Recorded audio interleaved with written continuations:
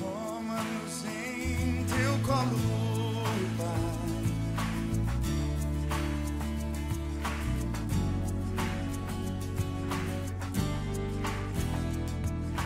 Filho meu. Para mim é uma honra tão grande estar aqui ao lado do pastor Vandeci e quero abençoar todos vocês aí em. Eu sei que essa cidade é tão maravilhosa, tão grande também, nós estamos aí com um único propósito, não de fazer qualquer outra coisa a não ser levar a palavra do Senhor, cuidar das ovelhas, abençoá-las e queremos ver Itaúna ser completamente transformada pelo poder do Evangelho.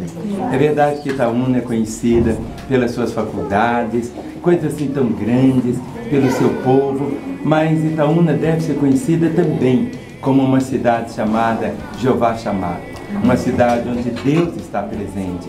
Nós estamos aí com um único propósito, de levar a palavra do Senhor, amar as pessoas, cuidar das ovelhas, e vocês estão nos assistindo agora, eu quero abençoar muito o coração de vocês.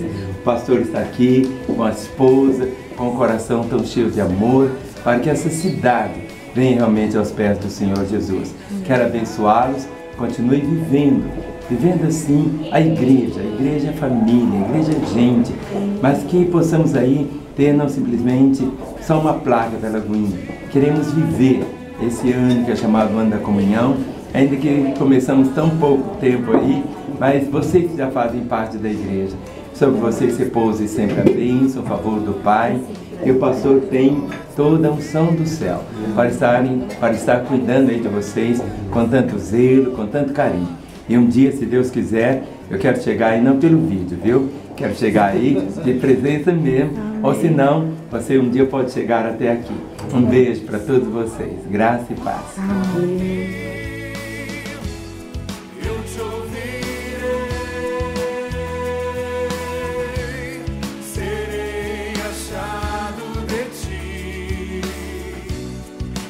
sorte eu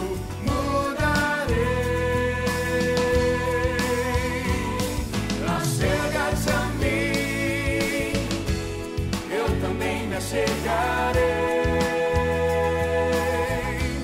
te tomarei em meu colo, novas vestes te darei.